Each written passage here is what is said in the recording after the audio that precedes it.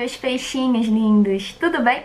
Sejam todos bem-vindos a mais um vídeo aqui do canal Priscile. Pra quem não me conhece, eu sou a Priscila Peixe e no vídeo de hoje, meus amores, eu vou ensinar a fazer esta cestinha de papel aqui, ó, super fofinha, muito linda. E eu fiz ela pequenininha assim, gente, porque como ela é de papel, a alça dela não é muito forte, sabe? Não dá pra colocar nada muito pesado. Se você quiser, você pode tentar fazer ela um pouquinho maior e fazer uma alça mais firme, com papel mais grosso, ou então colocar várias camadas de papel coladas juntas pra ela ficar mais firme, tá, gente? E essas sacolinhas que vocês estão vendo aqui atrás de mim, eu também já ensinei a fazer aqui no canal. Vou deixar o link aqui no card, caso você ainda não tenha assistido, caso queira assistir. E se você gostar desse vídeo, não esquece de deixar o seu like, tá bom? Ajuda muito aqui o canal, o seu like. Se inscreve no canal também, que você é super bem-vindo. E ativa as notificações, é só clicar nesse sininho que tem aqui embaixo, que você fica por dentro dos próximos vídeos.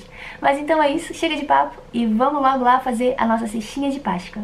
Então, gente, pra fazer a nossa cestinha de hoje, eu cortei aqui esse molde que eu vou falar pra vocês agora as medidas, tá bom? Cortei no papel cartão. E pra fazer esse molde, eu comecei desenhando aqui um quadrado de 10 por 10 centímetros no lado de dentro aqui do papel cartão. E aí eu puxei, ó, mais 10 centímetros aqui de cada lado, vim com a régua, só desenhar assim, ó, reto dos dois lados. Aí fiz a mesma coisa aqui na vertical, também puxei mais 10 centímetros pra cima e 10 centímetros pra baixo. E vocês estão vendo que esses 10 centímetros vão até essa linhazinha aqui, ó. Depois eu puxei mais um centímetro e meio de cada lado pra gente fazer uma beiradinha que vai ser o acabamento.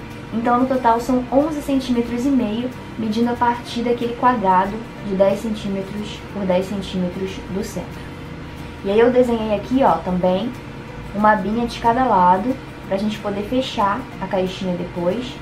Essa abinha começa antes do 1,5 centímetro e meio, tá? Que eu coloquei no topinho aqui de cada um desses quadrados. E aí eu peguei esse molde, posicionei aqui no avesso do papel cartão, assim, ó, virado essa parte do avesso com avesso. E cortei para ter dois moldes iguais que eu vou colar um no outro para nossa cestinha ficar com a mesma cor do lado de dentro e do lado de fora. Eu recomendo que você pegue esse molde, já cole direto no papel cartão e só depois você corte, que aí vai ficar bem certinho, não precisa cortar dois igual eu fiz, né? Que aí fica bem mais fácil, tá? Eu vou colar um no outro aqui, assim mesmo. Você também pode fazer desse jeito se você preferir, mas você já pode colar o molde direto no papel cartão e cortar que já fica certinho. Aqui eu já terminei de colar os dois, ó, como vocês estão vendo, já tá com a mesma cor dos dois lados. E aí eu vou vir com uma régua e vou vincar aqui esse molde assim, ó. Vou vincar as laterais assim e as abinhas em todos os lados, tá vendo? Vou vincar assim pra cima. E aí depois eu vou vir e vou vincar essas abinhas aqui de cima, do topo, pra fora, tá? Pra baixo aqui. E aí eu vou vir com a cola, pode ser cola branca, cola em bastão, até uma fita dupla face. E vou colar essas abinhas aqui pra gente fechar a nossa caixinha.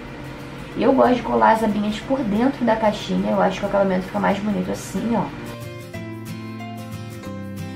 Aqui a estrutura da nossa cestinha já tá pronta. Eu vou começar a decorar. Eu cortei aqui seis pedacinhos de papel, tô usando papel de scrapbook, de 2,5 por 36 centímetros. Eu peguei um papel de scrapbook aqui que eu achei que ia combinar com papel cartão, mas você pode usar o papel que você quiser, tá bom? Eu vou centralizar ele aqui, ó, bem na beiradinha da cestinha. Vou pegar outro papel, vou colar centralizado aqui do outro lado, ó, do fundo da cestinha. E vou centralizar um bem aqui no meio. Centralizar tanto horizontalmente quanto verticalmente, tá, gente? E aí eu vou pegar outro, vou centralizar aqui, ó, bem na beiradinha, no outro sentido, no sentido vertical. Vou pegar mais um, centralizar aqui na pontinha e vou centralizar o outro aqui no meio. E vou colar todas essas tirinhas aqui no fundo da cestinha. E aí depois que eu colei ficou assim. Agora eu vou começar a colar aqui nas laterais. Para isso eu vou passar um pouquinho de cola só na pontinha de cada uma dessas tiras e vou colar bem aqui, ó.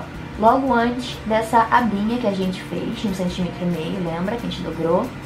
Vou colar as três aqui na beiradinha e vou colar só a pontinha mesmo. A parte de baixo aqui das tirinhas vai ficar soltinha, tá? E aí depois de colar essas três pontinhas, eu vou vir com a cola e vou colar essa abinha que eu fiz aqui por cima, ó, pra dar acabamento. E aí vai ficar assim, ó, soltinho na base e coladinho na ponta. e faz isso em todas as laterais da cestinha. Depois que eu colei essa parte, ficou assim, tá vendo? Já tá ficando bem fofinha a nossa cestinha. E aí eu cortei mais uma tira desse papel de scrapbook de 3,5 por 28 centímetros. Eu vou colar ela aqui, ó, na parte de cima. Colar a beiradinha da tira aqui, ó, de um dos lados. Depois vou colar outra beiradinha aqui. Vou colar só nessa parte aqui onde tá o papel cartão verde, sabe? Nessa parte de um centímetro e meio. E vou fazer a mesma coisa do outro lado. E depois disso a nossa cestinha já tá pronta. Eu achei que ela ficou muito fofa pra você encher de chocolate e dar aí na sua Páscoa. Se você também gostou, não esquece de deixar o seu like, tá bom? Compartilhe o vídeo com seus amigos que também vão gostar dessa ideia pra Páscoa. E não esquece de se inscrever no canal, que você é super bem-vindo. E esse foi o vídeo de hoje, peixinhos. Eu espero muito que vocês tenham gostado. Um super beijo e até o próximo vídeo.